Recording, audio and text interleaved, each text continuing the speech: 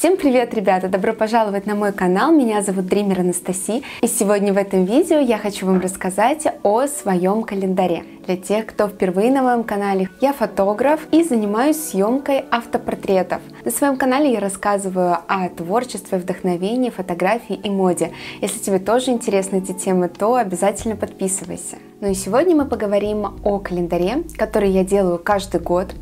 И этот календарь содержит фотографии за весь предыдущий год, год, когда я снимала, работала, придумывала различные идеи для образов, концепции съемок и воплощала их в картинки. Я такой календарь делаю с 2020 года. У меня в блоге в актуальном вы сможете найти эту информацию. Актуально называется «Мой календарь». Там я подробно показываю с самого начала возникновения календаря, какие снимки туда входили и как он, собственно говоря, выглядел. Я стараюсь, чтобы каждый календарь имел определенную концепцию. И в этот раз календарь на 24 год я решила сделать э, с концепцией того, что это кино. Э, кино, которое вы смотрите в кинотеатре, где героиня принимает разные образы. И именно поэтому на обложке я использовала снимок, который сделала в кинотеатре. Вообще меня очень вдохновляет атмосфера кино и то разнообразие жизни, которое мы можем проживать, смотря фильм или, например, снимаясь в кино. И здесь я хотела в концепции этого снимка показать немного такую обезумевшую героиню, которая полностью погружена в просмотр кино и уже ощущает себя частью этого фильма. И именно эта фотография стала обложкой для календаря 24 года, и, соответственно, весь 24 год, каждый снимок э, олицетворяет собой какую-то концепцию кино. Начнем с января. Для января я использовала зимнюю фотосессию, которая была проведена в 23 году. Для этой съемки мы ездили за город, где было очень снежно, и, как вы можете видеть, такой снежный пейзаж, лес, покрытый полностью пуховыми такими сугробами. Все очень красивое, белоснежное, а образ был выбран футуристичный, современный, спортивный. Конечно, эта съемка в первую очередь была вдохновлена различными тенденциями, да, которые были на тот момент. И балаклава здесь отлично вписалась, и также очки спортивные. Весь образ футуристичный, инопланетный. Именно этот снимок захотела включить в январь, так как он также для меня символ чего-то нового, свежего. Именно этого все хотят, мне кажется, в январе. И Хочется, чтобы этот образ вдохновлял на эксперименты, на осуществление каких-то целей и стремление к чему-то новому. И следующий у нас февраль, и эта съемка была осуществлена на 14 февраля 23 года. Здесь тематика Дня Святого Валентина и сердец. Вообще я очень люблю символ сердца и красный цвет, часто использую фотографии. Конечно, мне захотелось эту съемку добавить именно в обложку февраля. И специально для этой фотографии я сделала сердце из картона, которое, собственно говоря, и обвила такими нитками, немного они бархатные такие, и сделала вид, будто бы я вяжу это сердце.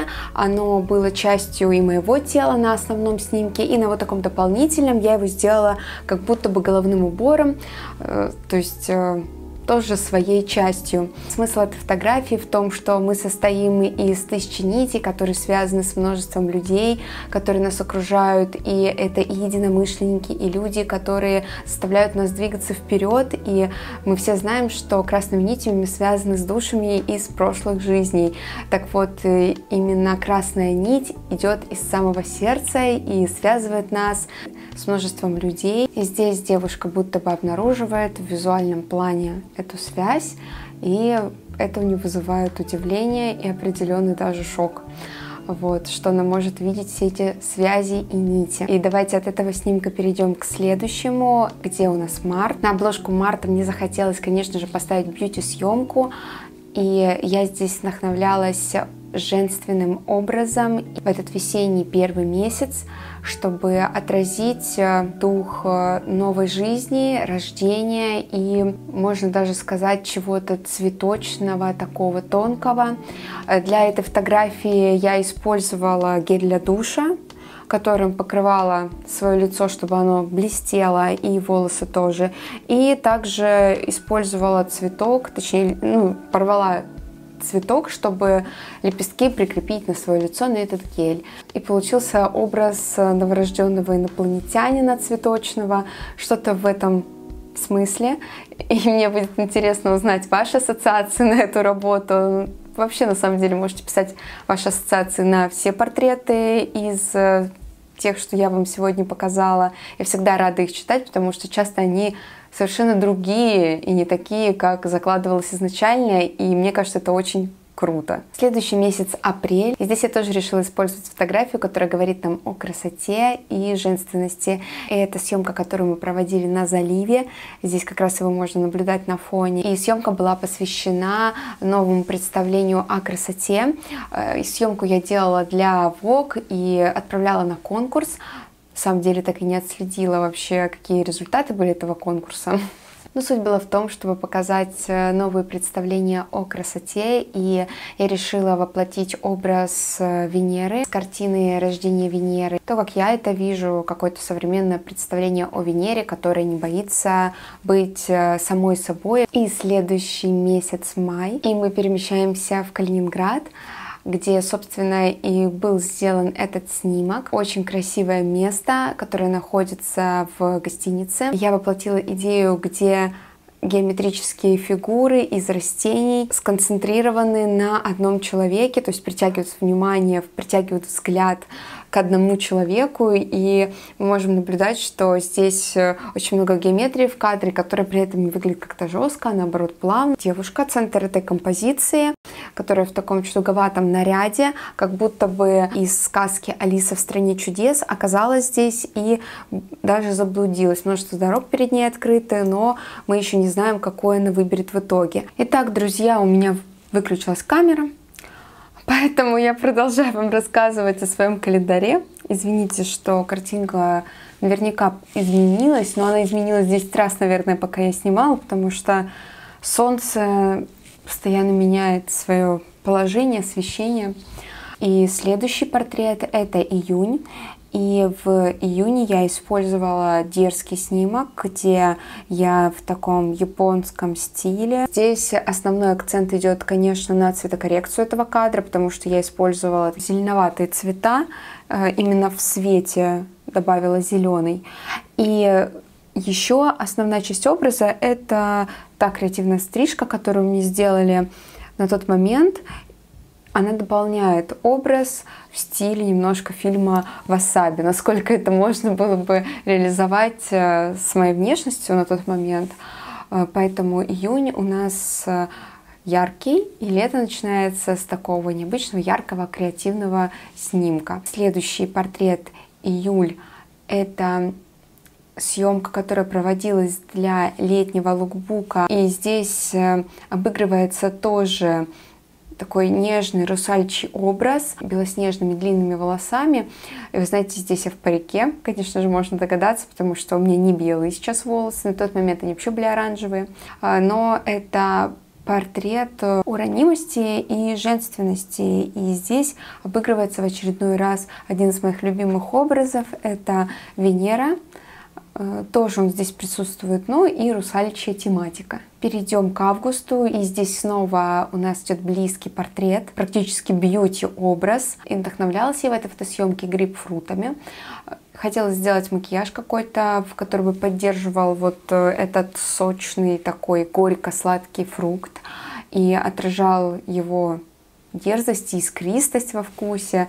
Ну, соответственно, здесь я добавила различные желтые элементы в макияж. Ну и, конечно, большую роль здесь играет обработка, э, цветокоррекция, где я тоже добавляла как раз зеленые цвета в свет и подчеркнула вот яркость этого фрукта, красные оттенки, оранжевые оттенки. И можете видеть, что действительно очень похож портрет на август лично для меня. Он как бы отражает основное настроение этого месяца. В сентябре я выбрала нетипичную съемку, а, потому что обычно я очень люблю начало осени, и мне хочется добавить туда каких-то осенних красок, какое-то осеннее настроение. Но в этот раз решила, что так как я сентябрь считаю чем-то что вдохновляет нас на новый путь. Пусть здесь будет портрет, который говорит нам о каких-то путешествиях. И я добавила съемку, которую проводила в Арабских Эмиратах. Это съемка в президентском дворце. Я хотела передать красоту этого дворца и хотела показать, что узнавать новые культуры, узнавать новые места — это то, что нас обогащает, и я надеюсь, вас тоже это вдохновляет так же, как меня. Перейдем к следующему снимку, и это октябрь, и, конечно же, здесь хочется поговорить прежде всего о Хэллоуине, потому что Хэллоуин — это один из моих любимых праздников, и я не могла не сделать в октябре акцент на этом празднике. Решила здесь показать вам съемку, которую я делала на Хэллоуин в 23 году в образе такой девочки-куклы. Есть нотки стимпанка в этом образе, и загадочность и мистическая составляющая. Я безумно люблю использовать в своих автопортретах таких странных персонажей, перевоплощаться в них. И здесь мы готовимся к тому, что у нас будет Хэллоуин в конце октября, поэтому сразу открывая такой календарь, вы будете знать о том, что скоро праздник. Итак, перейдем к ноябрю. Съемка, которая была невероятно спонтанной. Сделали ее мы просто вот поехали вечером, за один вечер я собрала этот образ, и было безумно холодно, это уже конец ноября, просто зима уже на всю, и пришлось немножко потерпеть этот холод, но я хотела передать атмосферу движения и стиль 80-х, э, такой дерзкий образ, смелый, деловой и напористый, и я думаю, что для реализации всех идей, которые вы придумали, предположим, в сентябре, как раз понадобится эта сила, которая есть в этом снимке. В октябре просто отдыхать и праздновать Хэллоуин. ну, в общем, давайте с вами перейдем к самому последнему месяцу и к одной из самых потрясающих съемок этого года. И в декабре у нас изображен снимок в азиатском стиле. Этот снимок был реализован в японском садике в парке Краснодар. Я думаю, что многие, кто там побывал, были удивлены, ошеломлены, насколько красиво передана атмосфера Японии. И, конечно, мне захотелось сделать снимок именно здесь. Скажу вам честно, я хотела сделать съемку там в прошлом году, но парк был закрыт. И я очень рада, что в этот раз все получилось, несмотря на то, что очень много было составляющих, которые мешали в осуществлении этой идеи. Но потом в один день все просто разом получилось, и мы поехали, сделали. Спасибо моей семье, которая помогла мне в реализации этой съемки. Я очень довольна этими кадрами, с удовольствием поставила их декабрь. Он отлично передает атмосферу праздника. На этом я хочу закончить. Календарь подошел к концу. Большое спасибо, что посмотрели это видео, послушали о снимках, которые я сделала в 23 году. Календарь я разыгрываю каждый год, и в этот раз тоже разыграла, и подарок уже отправила. Поэтому, если хотите тоже получить такой календарь, то обязательно в будущем участвуйте в розыгрыше календаря. Всего самого лучшего. Всех целую, всем пока и до скорой встречи.